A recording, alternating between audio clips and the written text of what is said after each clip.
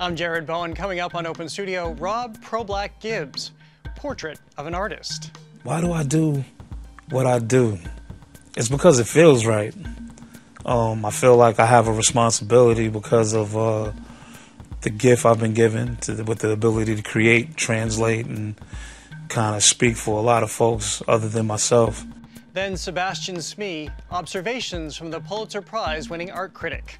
I think that we need art in some ways as uh, an expression of, of, of, of, vitality, of life in, in, in the deepest sense. Plus, that time our shoot aboard a hot air balloon resulted in an emergency landing at rush hour. It's all now on Open Studio.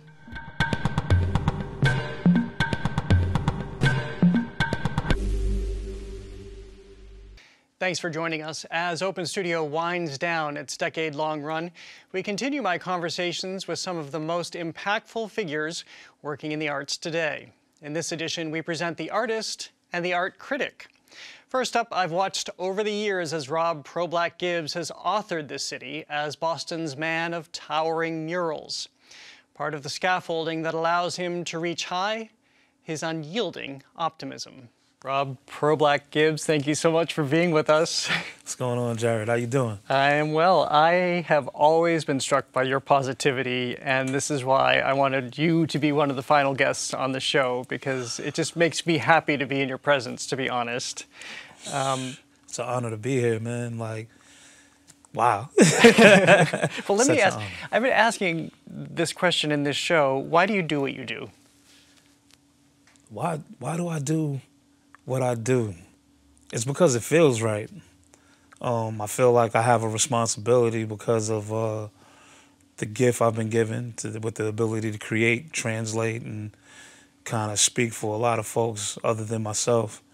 And um, I get really excited about just knowing that the things that I'm doing is having an impact on who's to come. You have spent so much time with kids too, as co-founding Artists for Humanity, the great organization which which puts kids to work as artists. What I see in all of the young people that come through the program is just a piece of the future. AFA just opened so many doors for me. It's unbelievable. I'm still taking it and I've been here for almost five years. It makes you feel like a sense of accomplishment, like you finished something. It's like empowering. You're a teacher. I wonder what you see coming up now in the next gen a couple generations down of artists. The next generation is going to have all the um, the the how could I say it the the vocabulary I would say to like things that we just uncovered, and there's going to be practices that are going to be considered the norm. There's no more you know, we wanted to change the term of a starving artist. Like if it's figuratively, or in the, in the abstract, that's one way. But like we want to make sure that there's there's an industry that thrives off of just the energy, and that the voices and the representation is is just all inclusive. Making sure that they're like you know when you're telling your parents, I'm gonna grow up and be an artist. Mm. It's not a it's not a thing to be scared of anymore. It's an actual career. When you told your parents that, was it hard for you to do that? I've never really told them that. that's a that's a that's a great question, man. I think they seen where I was going, and like the the one thing that I had to do was earn their trust in a way that I didn't know that's what I was doing. I never really got any like pushback for the things I was doing. They were always supportive. I just felt like I couldn't go out in the world and misrepresent them and our family. When did you know you were an artist? I was late in the game. I had to been like 14 or something like that. I knew I had the ability to look at things and like copy it real well, but I just thought it was something to, you know, pass the time. Because me and my cousins, we would finish our homework real fast, and then our grandfather was giving us like, you know, the the newspaper, the funny section to kind of like do the cryptic quotes, the what's hits, and things of that nature. And I started finishing those fast, looking at the like, you know, the comic strips from like Dagwood to uh, Peanuts, you know, um, Calvin and Hobbes, like any of those characters, I was able to copy real well. So I just had that as like a a, a secret until a friend of mine saw what he was able to do, Damon Butler, and um, it really started with me just saying, you know what, I can do that too. when you need art now, where do you go? What do you do? What do you, is it reading, listening, going to museums? It's being around. I'm I'm in like a collective of like very talented individuals. I work at Artists for Humanity where I get to see like I'm in a vehicle looking at the future. I've also come across like a lot of shows that I go to, like First Fridays are a thing now. Before I never even thought about the first Friday of a month. Now we're going out to galleries, we're going to shows, I'm going to different cities. And so I'm tapping in on just like a lot of creatives in the communities that we all communicate with each other. And you got the luxury of just scrolling through your phone and, and, and tapping in with a lot of people who are connecting with you because of the work you're doing. So it's like um like mini radio stations and we're broadcasting the stuff we're doing and people are picking up the frequencies and they just throwing their work right back at you.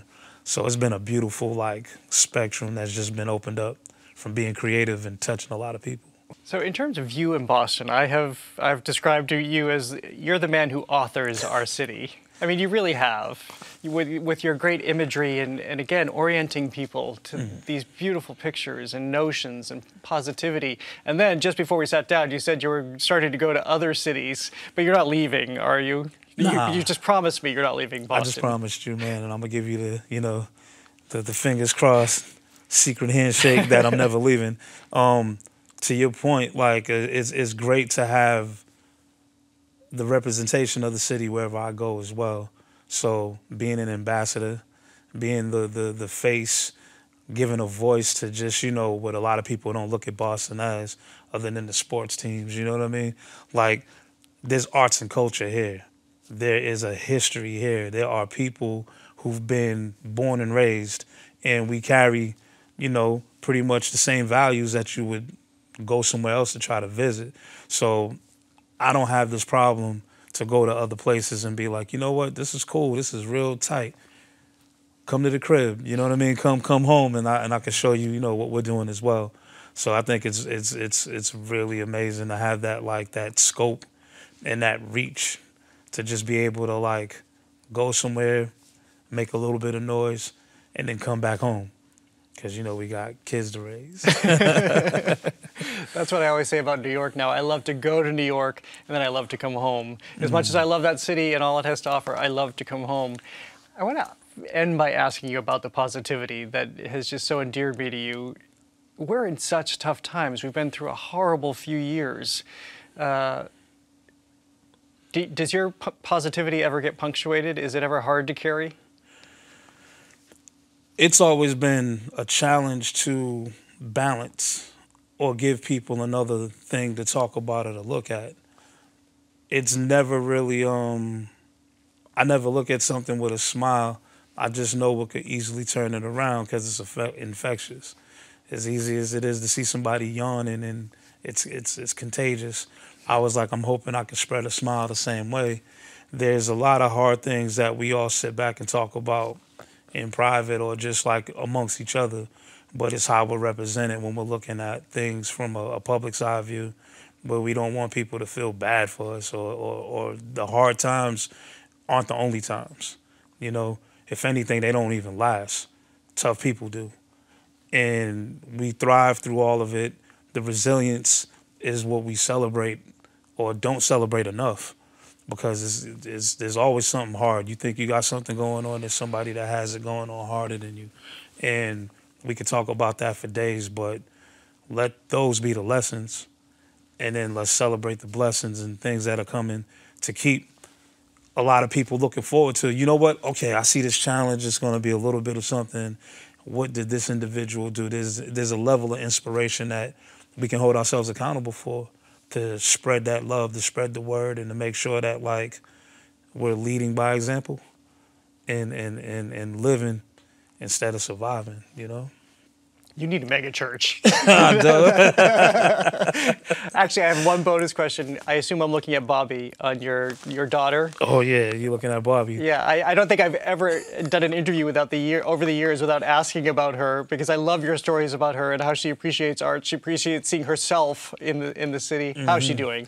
Bobby's doing amazing right now. Our rides in the car are just straight like interviews and she's drilling me, asking me questions about why the sun and the moon are out at the same time. and her level of brilliance is is amazing. I'm learning everything I possibly can just from having conversations with her, and you know, bless her mother for teaching her, you know, just kind of how to learn. I'm just helping her apply it. So Bobby's just helping us be better people out here, and I'm I'm gonna just kind of keep paving the way in this world so that she can um, benefit from it. You know. Well, Rob, this may be our last conversation here in this show, but one of many to come, I'm sure. Thank you so much. Pleasure to be with you. Pleasure to be with you as well, Jared. And is there anything have you seen since um, we've met that's been different in the city? From the time that you started paying attention to things to now, like is there anything that's really stuck out to you? I think the the the people who are now slowing down and paying attention to to art. Mm. I think that's what stuck out. It's a it's a different vibe and it's a different audience and it's a different appreciation now. Mm-hmm. Yeah. Appreciate the work you're doing, Jared. Thank you. Thanks a lot, man.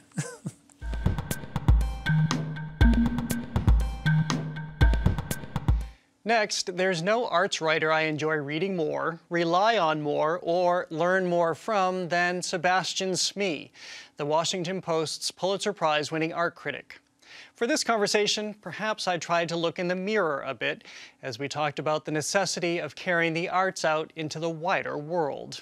Sebastian Smee, thank you so much for being here. Thank you for having me. Well, I love this because there's no agenda. We're just going to talk about art, which is lovely, Fantastic. what I love to do.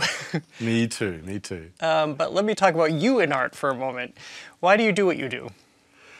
Why am I an art critic? Why do I write about art? That's a great question. Wow, that's a really tough first one to come up with. Um, look, I, I love it. I, I was really attracted both to art and to writing early on. And uh, I read some great stuff by, by critics as a young man. Um, uh, and, you know, it, it, I didn't intend to write specifically about art at first, but I knew I wanted to write. Uh, and in, in kind of, not in academic ways, but in ways that spoke to a more general audience, hopefully. But, but that, I think, is key. Why did you want to, to write in that way to reach people? Well, again, I think it's about things that you read. You know, you, you, you read things that are accessible and at the same time uh, informal. You know, uh, they, they come from a uh, things that, that come from a, a, kind of base of knowledge and expertise, but are about expressing enthusiasm and passion. There's nothing as seductive, I think, as kind of expertise that's casually held and, and almost casually communicated. You, you, you feel you're entering into a kind of almost secret society with, with people who share your interests, and I love that. So one thing I didn't hear you say when I asked why you do what you do is, is what responsibility do you feel or how do you own putting art out into the world so that people can access it and understand it more and hopefully participate in it? Right. I mean, look, I think criticism you know, is one of these inherently fraught words, isn't it? It just sounds so negative. No one likes to be criticized. Um, but of course, you know, 90%, maybe 95% of what I write is, is, is broadly positive and even celebratory. Um, you know, but I, I think that we all, um, have a desire to engage with stuff. And that means that we're all involved in the, the business of making judgments all the time. And to pretend otherwise is, is a kind of false position. And I think if I didn't occasionally express, you know, something negative, then people wouldn't trust the, the positive things that I write. And, you know, I just fundamentally feel that, that art deserves to be met by more than just silence. I think that's something a, another critic, a guy called Adrian Searle, who writes in The Guardian, once said. But I, I really feel it, it's so true. And, and uh, you know. What does that mean? Well, it means that art shouldn't enter the world and just be met by, by, by silence. It, you know, that it should hopefully generate a response. Otherwise, what's the point? And I see my role and, and, and the role of other people who write about art as being part of that, that response, that hopefully starting a conversation. And, you know, if occasionally you do write something negative, then hopefully that's going to start a conversation and the people who feel differently are going to articulate their take on, on something, uh, whether it's a film or a, an exhibition or whatever. And that way you get the ball rolling. And, and that's part of what we think of as culture. Well, in your case, I'm struck by the fact that you had this relationship, uh, I assume kind of a mentor relationship, you'll clarify, with Lucian Freud. And Yeah, it wasn't really a mentor relationship. You know, I, I was just a 29 year old art critic who'd moved to London from Australia, and uh, I got to know the painter Lucian Freud, who was 79 at the time. Um, and, you know, I, I, ended up writing quite a few things about his work. Uh, but yeah, he was, and anyone who met him will testify to this. Um, he was a pretty electrifying personality as well as, a, I think, a powerful artist. He painted the human body in ways that people can find uh, confronting or a little too truthful, perhaps. Um, and, uh, and, you know, I think post-war American art is much more inclined to celebrate varieties of abstraction. Um, and he was very much not an abstract painter. I felt very lucky to get to know him and, and to have the chance to write about his work. Well, and what I wonder in that is that we all have our different learning experiences, but to get to know an artist, especially an artist who's so celebrated in a different way, perhaps a more intimate way, to, to actually get to know them and yeah. not see them at, at some kind of remove, how, how that, what, what kind of impact that may have had on you you know, in an academic context, we're often taught to de-emphasize that connection between, uh, you know, the life and the work. Uh, but when you're standing in someone's studio right next to them and you can smell the oil paint and there's the canvas on the easel uh, and you're, you're, you're, you're, you know, you're hearing you know, jokes and, and laughter and, and, and anxiety and concern and, and insecurity even, uh, you know, it's very powerful. And you realize that art is intimately connected to life in so many ways. I think it transcends that. I think a lot of the artists I love most, you can feel that connection. It might just be a painter like Matisse or, uh, you know, someone just painting a, a, a, bowl of fruit that, that, that you know was, you know, in their studio or, or on their table in their living room. Um, you know, there's all sorts of ways in which life and art are connected, but uh, when you feel that connection, I, I, think it's really exciting. Well, finally, as a last question, for those of us who aren't artists, have you distilled why we, uh, it'll be the royal we, as a society, whomever, why we need art? I think that we need art in some ways as uh, an expression of, of, of, of, vitality, of life in, in, in, the deepest sense. And also, I think, as a kind of antidote to some of the, the things about social life that are kind of deadening. And I think in our current moment of, of let's say, our, our obsession with metrics, I think that something about the, the immediacy, the here and now, uh, uh, the directness and honesty of art is, is, is a kind of great antidote to algorithms and artificial intelligence and all these things. And, uh, you know, that makes me think that we're going to need it more and more, actually, in, in the world that we're entering now, for that sense of, of connection with what it truly is to be human in, in the deepest way. Well, Sebastian Smee, again, it means a lot that you would come for one of our final shows. I think you're the greatest writer on art in America. Thank you. Jared, that's so kind of you. Thank you. And I'm so grateful. Thank you for inviting me on this terrific show. I always love it. Thank you.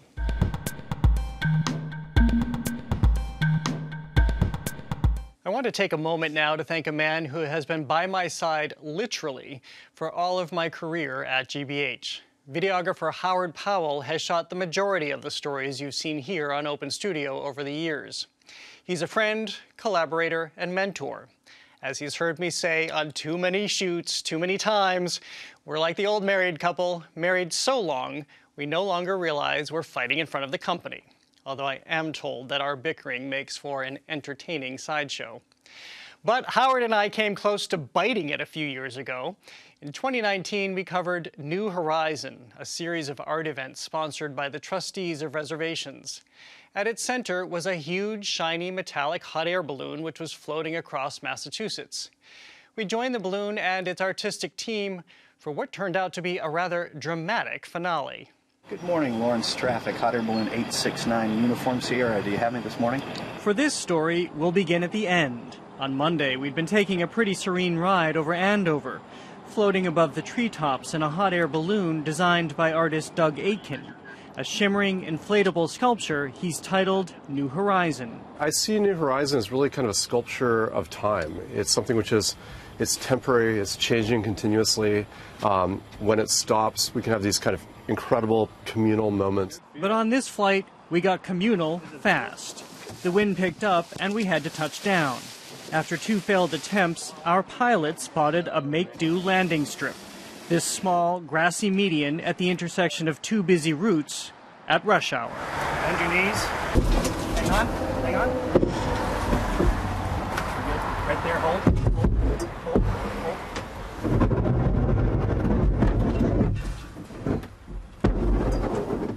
Suddenly, New Horizon was on the ground, its silvery skin collapsing in a tired exhale.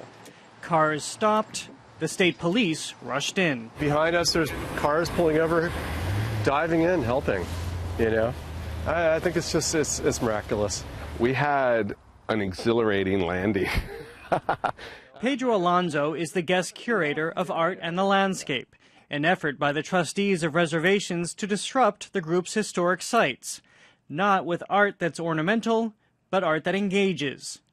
Jeppe Hein's mirrored labyrinth at World's End in Hingham, Sam Durant's meeting house at the Old Manse in Concord, and Alicja Kwade's exploration of reality at the Crane Estate in Ipswich. I'm convinced that the public wants art.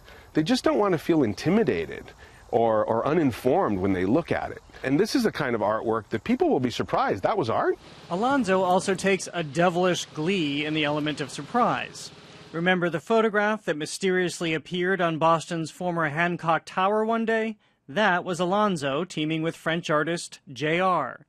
They did it again two years ago, installing an image of a child peering over a Mexican border wall into the U.S. That kind of surprise is, for me, much more valuable than a programmed event. Well, what does it do to, to, to, plunk a sculpture down in the middle of rush hour traffic, literally in the middle of rush hour traffic? Oh, it's it's well. First, people take notice.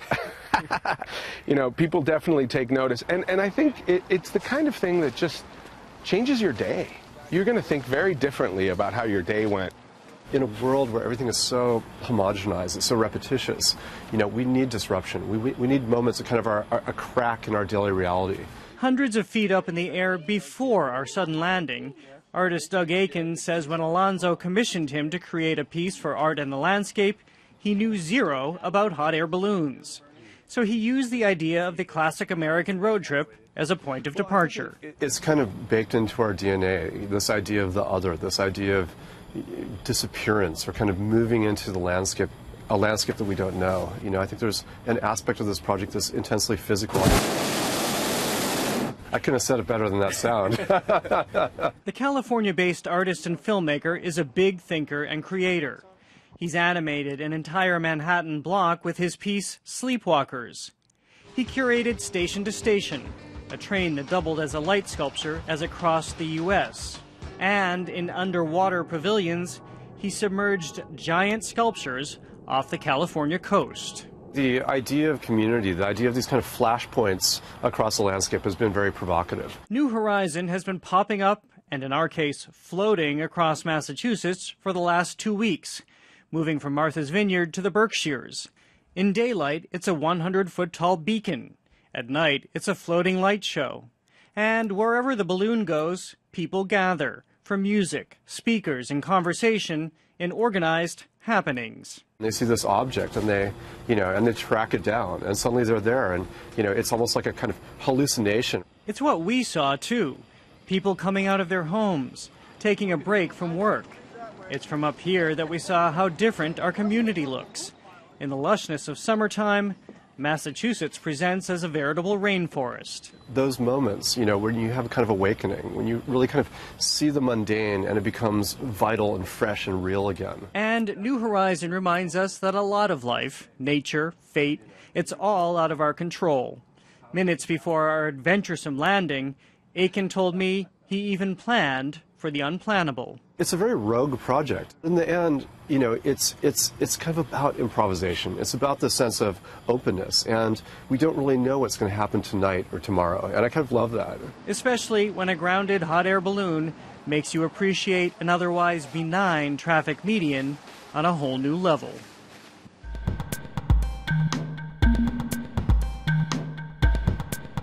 And that is all for this edition of Open Studio. Next week, we look back at time well spent with local artists, including the sculptors at Madhouse Motors.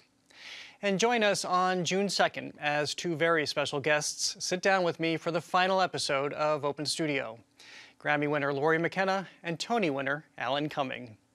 To get in the mood for our series finale, we bring you a performance from 2016 when Lori McKenna, fresh off a Grammy win, joined us on Open Studio. She performed her song People Get Old, based, she told us, on her father and her husband's father.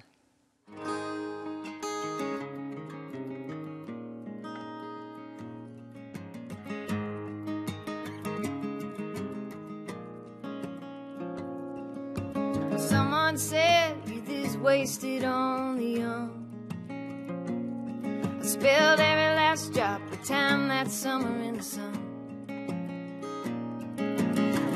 Had a Timex watch, cigarette in his hand, and a mouthful of scotch. Spinning me around like a tilt-a-whirl on his arm. Well, houses need paint, winters bring snow. Your kids come on in before your supper gets cold. Collection plates and daddy's billfold, and that's how it goes. You live long enough, people get old.